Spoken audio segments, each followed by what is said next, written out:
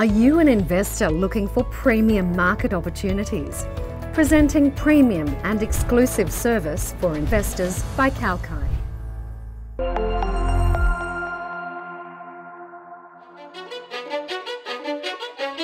Hi there, I'm James Preston for Kalkine Media. Who'd have thought? Soccer in the middle of the desert's not such a great idea after all. As the clock winds down to the 2022 FIFA World Cup, it's becoming increasingly possible that the Qatar hosted event will be an absolute train wreck.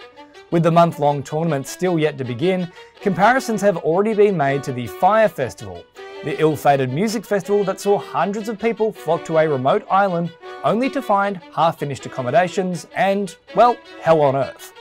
Photos snapped of the Qatar accommodations built specifically for the mass sporting event show rows of white tents with flimsy entrances and cramped spaces, eerily similar to the 2017 Fyre Festival, which, after staff shortages, dismal accommodation and the cancellation of musical guests, had to be shut down, leaving hundreds of millennials stranded on the Bahamas island.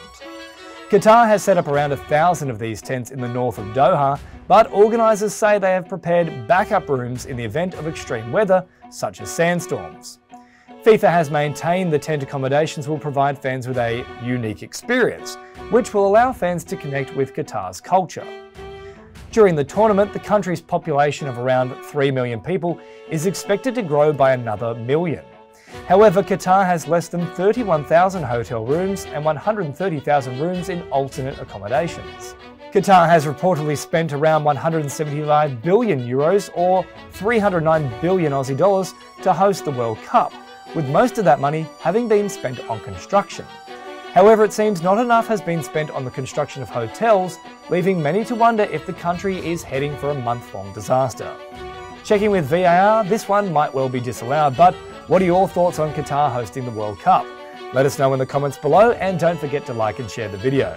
For more content, you can subscribe to the channel and hit the bell icon for future notifications. I'm James Preston for Kalkine Media.